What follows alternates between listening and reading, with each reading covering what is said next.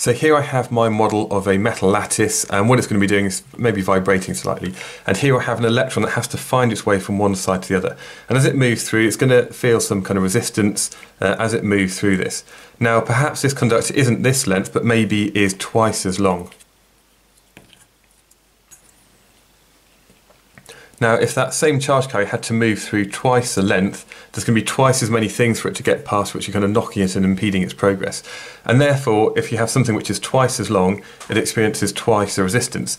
And what we can then say is that the resistance is proportional to the length of the object. But let's also imagine what would happen if we maybe had uh, an object which was twice as wide uh, as it was before. Well, this time, uh, rather than this kind of electron having to go through this certain way here, it's got more options it can choose to go the, the, way, the path of least resistance.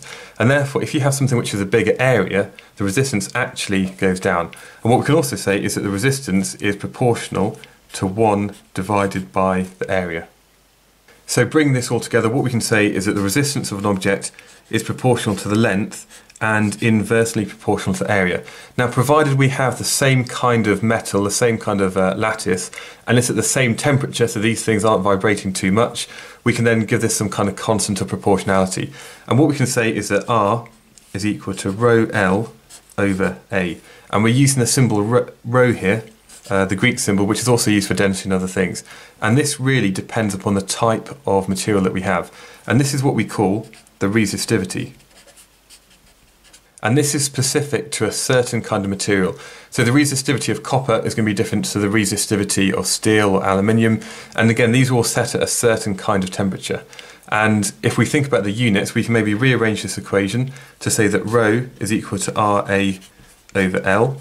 And bearing in mind we uh, look at the resistance in ohms, uh, the area in meters squared, and we're going to divide this all by meters. This gives us then the units for resistivity to be the ohm meter. So what does this mean? How can you visualize it? Well, the way I like to think about it is if you had uh, a cube of metal, perhaps maybe some copper, and this cube was one meter by one meter by one meter. So provided we uh, have uh, a current which flows through this block, which has a length of one meter and an area of one meter, then we can really think about the resistivity as a resistance of a cubic meter of a substance. And again, it's going to vary from metal to metal and it will increase as temperature goes up.